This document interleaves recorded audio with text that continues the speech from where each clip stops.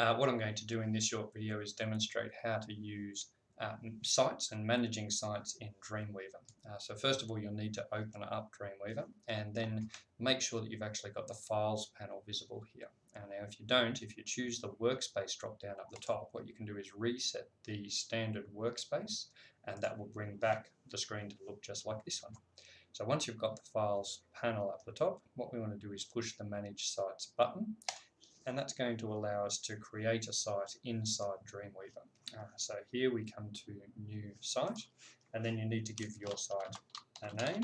Now this is our assessment task site so we're just going to name it assessment task. You can call it something that makes more sense for your particular site if you like. And then we've got to tell it where the local site or where the local files are actually stored. Now mine are stored in a folder on my desktop.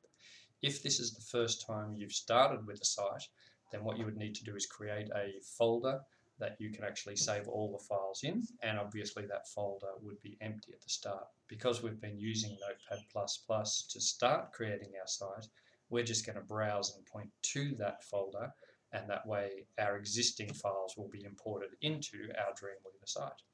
So let's push the browse button and mine is stored on my desktop. You would store yours in your documents folder and so when I choose the www folder, which is where all of my files are stored, right there, uh, you can see I've now set up that path. So I'm going to save those settings, and here's my new site in the Manage Sites window.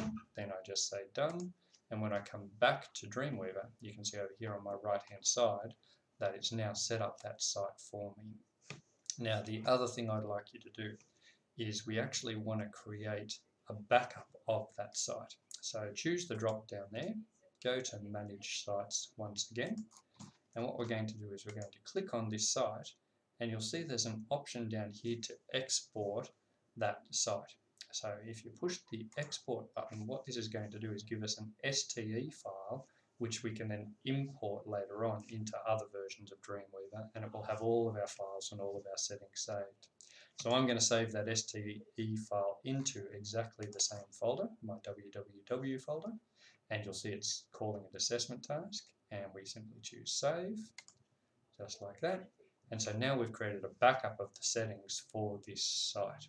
Now, in future versions of Dreamweaver, when you go to a new computer, uh, all you would need to do is push the import site button, open up that STE file, and all of your settings will, for that site will then come back in.